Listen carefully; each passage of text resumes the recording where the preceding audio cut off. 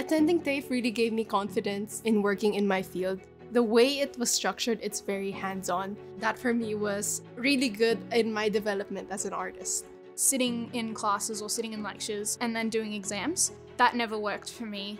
Being able to have the hands on learning that I've had at TAFE has really made such a huge difference. The best things for TAFE is the small group of class. When I was new, I was a kind of shy person to interact with the students and to interact with the teachers. It helps me to raise my confidence level. Coming out of high school, you're really not that exposed to all the options you have. And then once you go to TAFE and you like, meet all these people, it just really broadens your future.